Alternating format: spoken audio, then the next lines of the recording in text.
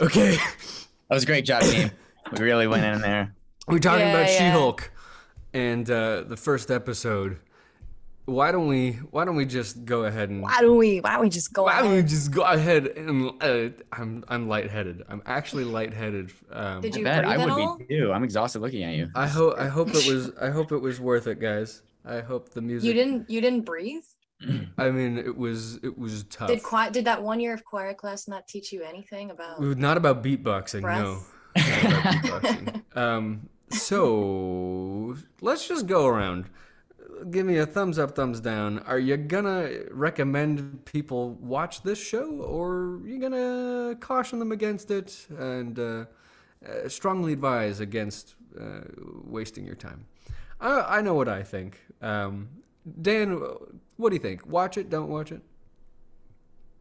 I'm gonna watch it, but Wow. it's sort of it's not like a full thumbs up. It's sort of like I don't know, like a little off the like a 45 degree angle, right? Because I mentioned That's earlier. right in the middle.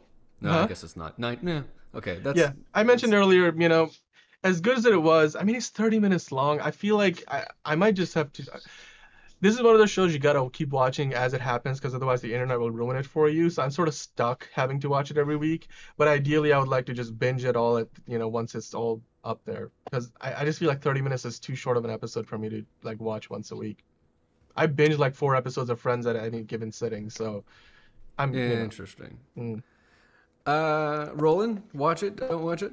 I I think yeah, you kind of if the internet doesn't ruin it for you, you should probably wait. You know, get a little How is? I'm sorry. How is the internet going to ruin it? What do you guys mean by that? like spoilers. Yeah, because you I know don't- this is this show apparently has a lot of cameos, and all these cameos, like the first episode didn't have. I mean, you can maybe call the Hulk a cameo. I don't know. It depends on how often he's gonna show up in the rest of the show. But apparently, in every episode, they're gonna have like somebody like we talked about it when we talked about reasons to watch She-Hulk, and you had like Wong and Daredevil and Abomination. So i- it's like gonna be like WandaVision. Like they might have Quicksilver show up, or the you know the actor who played Quicksilver in the X-Men universe. And then if you hadn't watched that week's episode and you were waiting to binge the whole thing, it will be ruined for you. Like it's hard to hide from spoilers on the internet. So Yeah. Okay. Catch But you I think- uh, Oh no, Roland, finish your thought. Okay. No, it's fine. don't no, don't put the whole screen on me. It's fine. It's good. Sorry. Go on. It's okay. Okay. Catriona, okay, what do you think?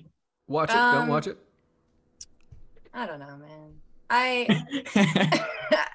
I you know, I think I will probably like it's one of those shows that's like when we used to have just basic cable and there was you know, like scrolling through the channels. There was nothing to watch and you're like, fine, I'll settle for like Law and Order because it's on. And you're like, you know, it's not that bad actually. Maybe I'll watch a couple more episodes, but it's not the best. That's how I feel. I think I will watch it maybe not in as it's happening. I don't really care about the spoilers, so I'll just let it all go up and binge it. Mm. But uh that's how I feel. I honestly don't mind the the 30 minute thing. I'm like, oh thank God, you know, it's like we're getting them out quick. That's how I feel too. like it. Yeah. Yeah. My favorite thing about it is that it's only 30 minutes. I'm gonna Yeah. go ahead and say, please don't watch this show. Oh my The- gosh. All the right. writing is abominable. The acting, outside, she's good. She's good. She does a good job. Tatiana Everyone Maslany, else, yeah. pretty bad. Pretty bad acting in this show. Um, I like her CGI, friend. Her friend's good. CGI not very good. Um, plot very not great. This is Um, one episode though, right? Like how much can you? Yes. Yeah, and, Uh, and I'm gonna tell you, made a horrible first impression on me. Wow. Um, ju- the, just just the the car crash alone, um, you know, because we talked about it uh, last week. The original concept here was there's a blood transfusion, you know, and like that actually makes sense. Here, it's you know, it all happens in one scene. It's oh no, your cut. Get your cut away from my cut. Oh no, my cut's in your cut. And like it was so clumsy. And then of course, you know, just the the whole, you know, I've been stuck like this for 10 years trying to figure this whole thing out. And she goes, "Do you think I'll be stuck like this?" Cut to next scene. She's not. It's like, "Okay, great." She's and the whole premise of this is like she's like Hulk, but she's better. She Yeah, I- Well, I mean, Roland. Oh, go ahead. No, I was just gonna say they showed Hulk as clearly being more in tune with his abilities and still, you know, like, cause he's like at one point holding her back with his hand because she's like, she's like trying to like, it was a whole cartoon like thing. I don't, I didn't think they, they, I think at the end of the day, the impression that I got from the show is they're different. It, they're not necessarily like they didn't really specify one of the Hulks is better than the other. They just said they're different, which makes sense. I mean, Yeah. one of them is a guy I know, and the other one's a gal. Like, it's, but it's like they're rewriting the rules of being a Hulk for her, um, and this is the whole episode is really setting up like how is how is her power going to work, which you have to do. That's fine. Don't take issue with that. Um, almost every male character in this, except for the Hulk, is flat, phony, not a real character. There's no depth to any of them. They're basically caricatures of an idea of toxic masculinity that I think, you know, it's just it's unrealistic and kind of on the nose. Yeah, I Um, agree regarding like the the other lawyer who's basically trying to take over. You're never gonna her. make it. Well, right. I mean, like in this Yeah. day and age, if he said that, like he'd be canceled immediately, you know, and he had witnesses, other people hearing him say that to her face. Like you there's no way he would be able to say that. And it was so um there was nothing subtle about it. You know, like subtle. I, I think it- like it's there's nothing wrong with like trying to drive that point that it's like she's a woman, uh trying to like, you know, fight with these like men who are trying to dominate her and like prove like, oh, you can't do this stuff. But like it's like if you're like constantly saying you can't do this because you're a woman like just straight to our face constantly it's there's there's nothing it, it, it doesn't feel genuine. It just feels very forced. And it's like we have to think that or we're horrible people for you know not thinking that way you know? Like like i want to i want to be able to see it just so much more subtly and not There That's was a it. there was a severe lack of subtlety in this show. Yeah. Um, having said that, you know, I appreciate the fourth wall breaks. I like the idea that uh, she's trying to just be a lawyer. I thought I did, you know, chuckle when they said, you know, who are you? And she, in every other, you know, who are who am I? I'm Spider Man, or who am I? You know, I'm Iron Man. There's Yeah. who are you? You know, uh, you know, she, I'm an attorney, and uh, you know, she introduces herself by her first and last because she really does not want to answer the call to adventure here, um, and so there's some humor in that, but this was not entertaining enough for me, or even light enough for me. Uh, to just be the kind of show where I sit back and watch it because I don't want to think too hard. Like, you know still- i i actually felt that this episode was more of like the hulk's journey um Mhm. because it was him coming in and helping his sister who he or cousin, Cousin. I, don't, I don't know whatever his his relative and uh you know who he kind of accidentally like it's not intentionally his fault but in a way it is and he's here to help her and train her and he's like thinking oh you know we're gonna have to take years on this and then suddenly she's doing everything perfectly and he Yep. has to accept that knowledge after the years of torment and suffering he had to go through for himself so it's like within five minutes he has to just be able to accept and acknowledge that she's going to have a so much like a much easier time than he is. Still help her even though she's being really like bratty about it which i mean i understand you know she's upset she's like a hulk now.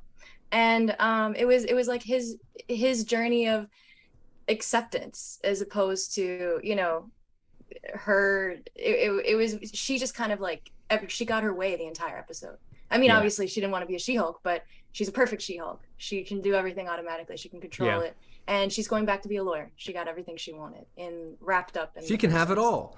Um, Dan, uh, Roland, defend it a little bit because I know like some people are gonna enjoy this. You clear like you're gonna you're gonna watch more episodes of this, right? Oh yeah, for sure. What's like what do what's what do you what's in it for you? Like what are you looking forward I- to? Well, I mean, it's like what you said. It's there's not you don't really know what the story is about um in this first episode. This is just kind of to like, hey, here's what she this is what she's about. This is how she got here. Let's get this out of the way. Um, you know, kind of introduces uh, Titania at the end of the episode. Um, that's who like crashes into the court scene. Mhm. Um, kind of sets some things up and just goes to show like, hey, this is going to be a lawyer show. This is going to be a different kind of lawyer show. So let's let's have fun with it, and I want to see how fun they get with it because um, I You think know, Jen they- Walter seems like a fun character. She's She she's does. cool, and I, I want to see more of her. I, I think they could they could have more fun with the law parody. You know, like, Yeah. if you did a Law and Order type theme song for this, and you did and you did the opening credits as though it was a Law and Order show, you know, with her walking, but like she's She Hulk next to all of these other lawyers, it'd be really it'd be Yeah. funny to be Well- self aware in that respect. They did a lot Well- of marketing that way. Have you guys you've seen the tra like the clips, right? Where they're they did a Law and Order intro version of, of a commercial, and then they've also there was like this you know how you get those lawyer infomercials like have you been mm-hmm. injured in a something something like they've Yeah. they've done commercials like that promoting this show. That's that's great.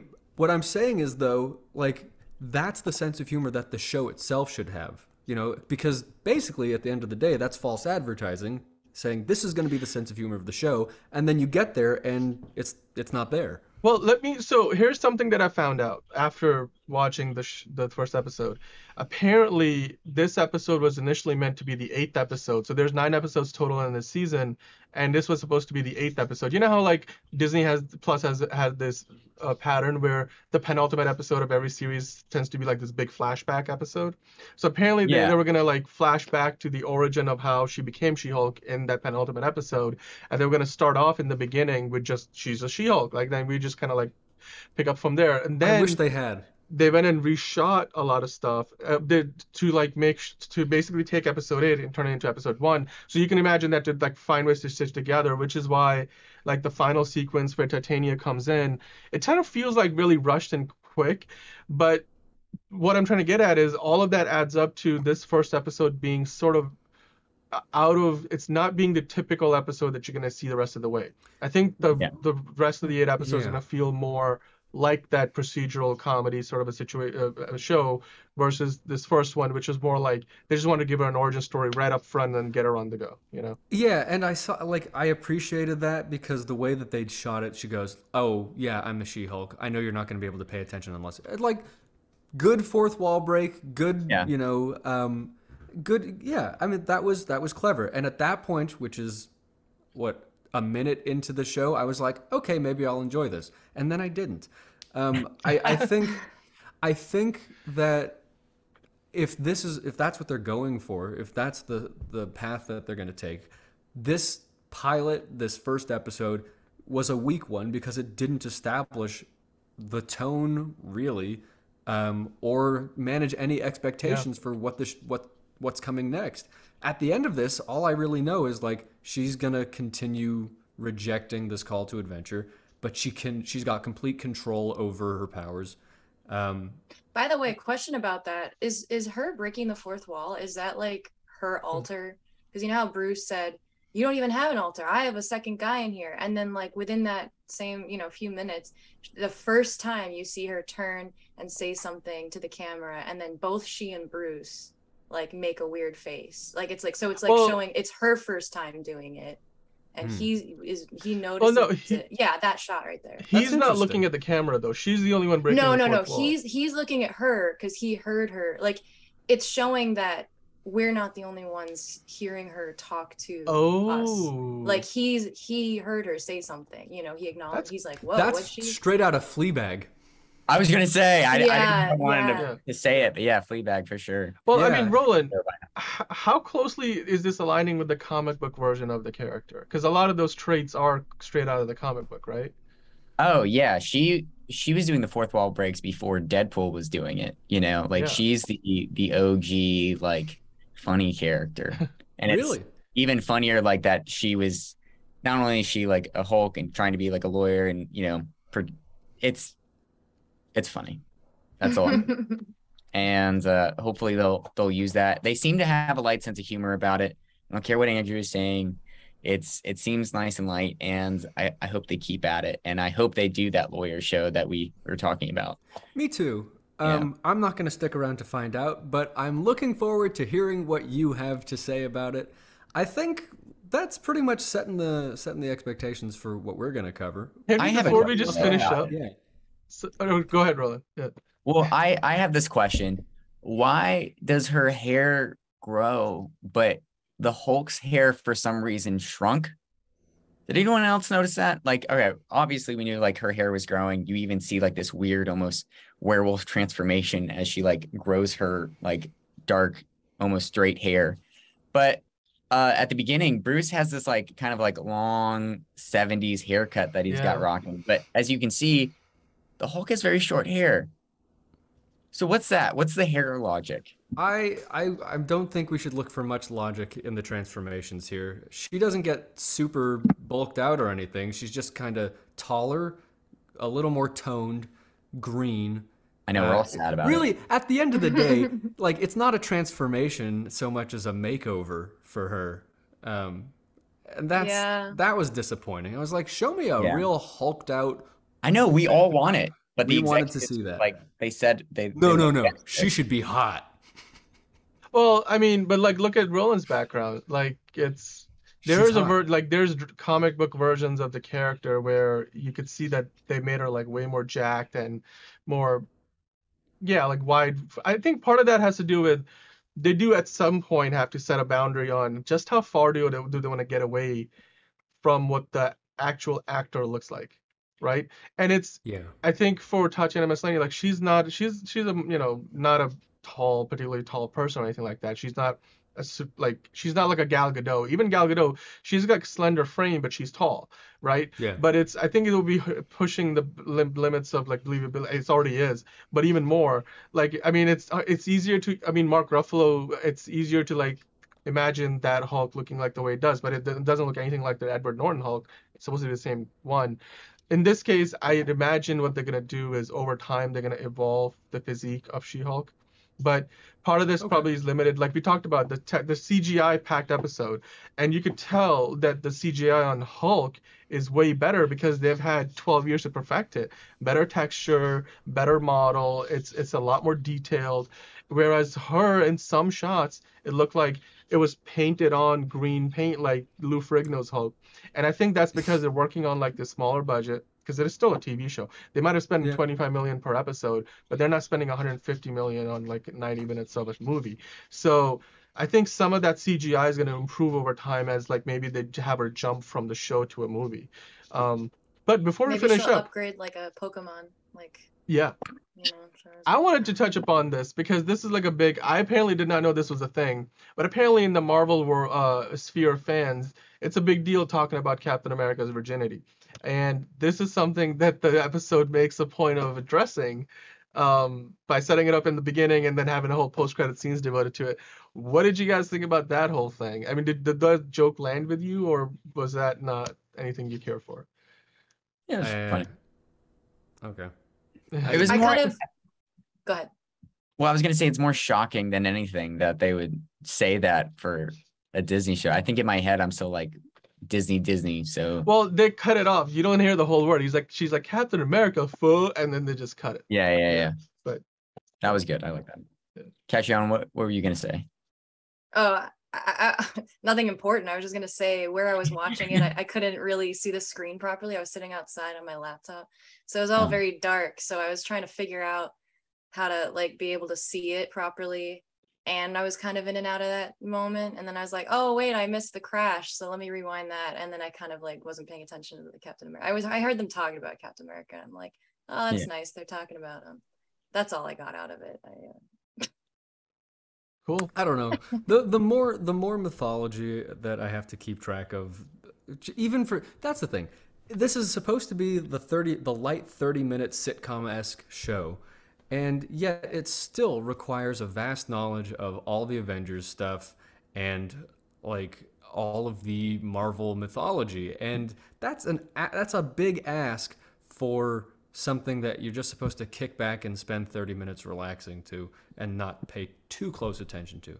So if they solidify the idea and the humor and all of that, I think they can they can do a good job making this its own thing.